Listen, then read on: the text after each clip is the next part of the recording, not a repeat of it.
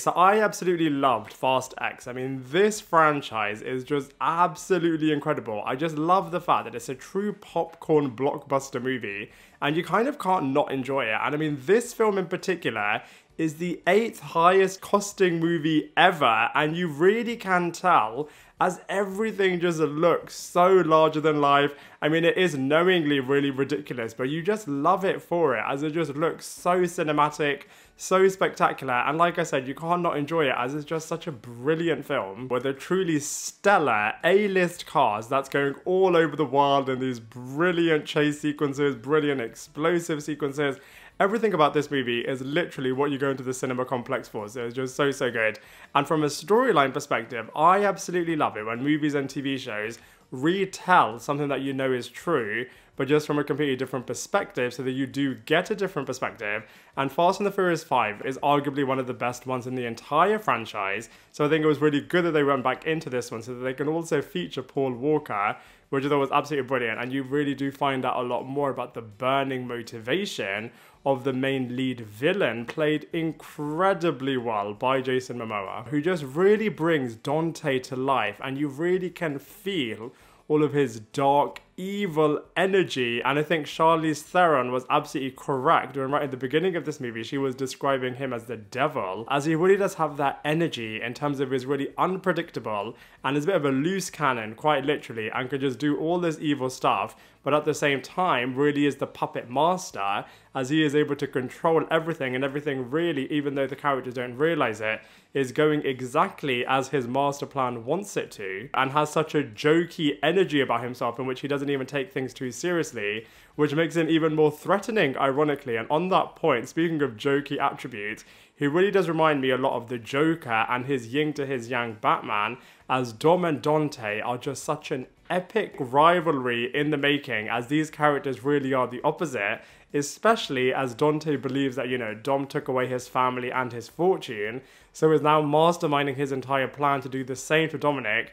And just seeing it playing out successfully from Dante's perspective, like I said, is just so mind blowing. So you have these real human driven motivations as well as all of the eccentricities taking place, not only from this character's perspective, but also, like I said, all of the larger than life things taking place. And this movie's scale was absolutely massive. And they have said that, you know, because of the fact that it's a two part epic finale, apparently the next part is going to be truly gigantic.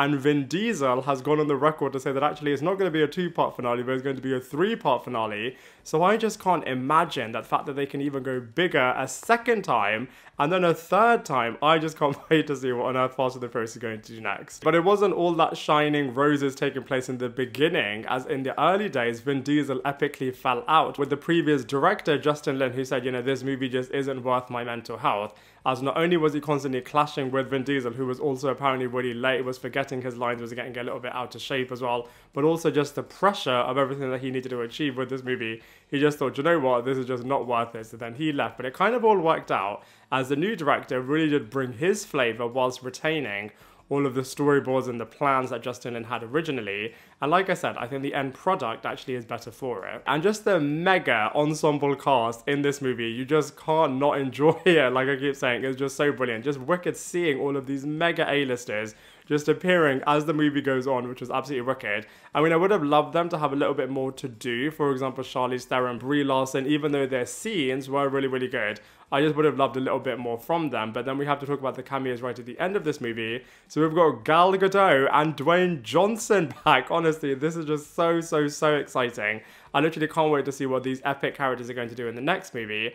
And apparently, Keanu Reeves and Robert Downey Jr. are also being eyed for the next couple of installments. So, like I said, this movie just has the potential to be absolutely incredible. So, not only was this movie really, really nostalgic because it was bringing back all of these epic players, but it was also bringing back what we loved from the original entries, for example, Street Racing, taking place back in Brazil, where you can also bring other characters back from that era. So it was just coming together so well, whilst also celebrating everything that has gone on before. And I absolutely love the blend of it feeling really, really massive, whilst also having true human, emotionally driven storylines so you really can feel not only part of the massive action, but also part of these intrinsic characters, which is so, so good.